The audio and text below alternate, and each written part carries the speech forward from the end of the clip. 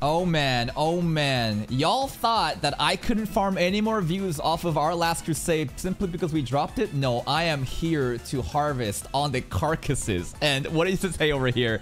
Our last crusade season 2 will restart broadcast episode 5 and onwards delayed indefinitely. So here's what's happening. This show scheduling was so fucked up like they stopped releasing episodes and they're gonna redo it. And look at this. This is basically like, a, a, uh, like an explanation summary what's going on.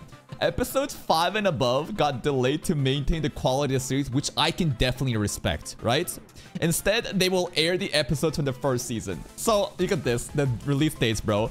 They're gonna release all one two three five. So they're skipping some of the cunny episodes i guess huh? Like six seven eight skip but like oh man you know what? Last Crusade getting dropped in our channel was actually a blessing in disguise. Imagine brute forcing all of Last Crusade just trying to cover season 2 for trends and like this shit happened.